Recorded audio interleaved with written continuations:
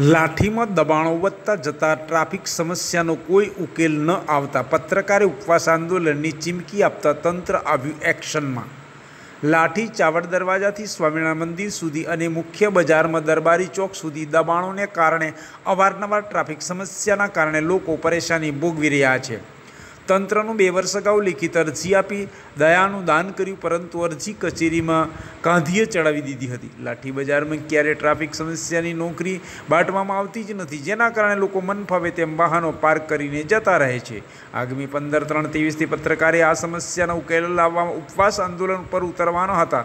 ત્યારે કહેવાય છે કે આગ લાગી હોય ત્યારે કૂવો ખોદવા બેઠા હોય તેવો ઘાટ સર્જાયો હતો અને તંત્ર સફાળું જાગી રિક્ષા ફેરવી દબાણો દૂર કરવા જાહેરાત કરી. પાંચ દિવસની મુદત આપી છે. હવે જોવાનું એ રહ્યું કે પાલિકા, મામલતદાર અને પોલીસ વિભાગ શું કાર્યવાહી કરશે.